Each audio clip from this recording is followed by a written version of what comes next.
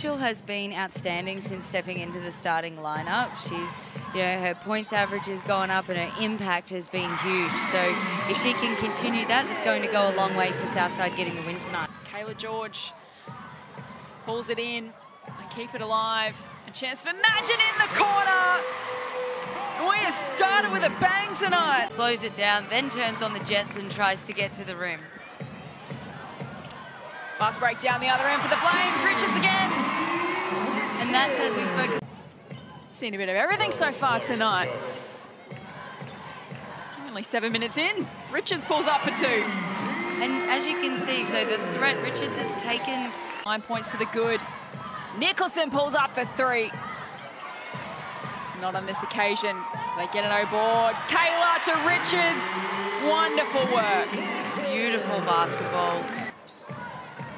What a start we've had. Richards has a fumble.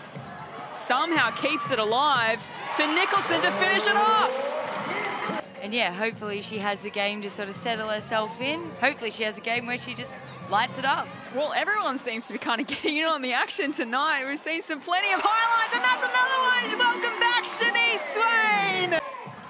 An outstanding performance so far. Last play of the first half goes to Didi Richards and one. They are loving what they are seeing from this Flames outfit.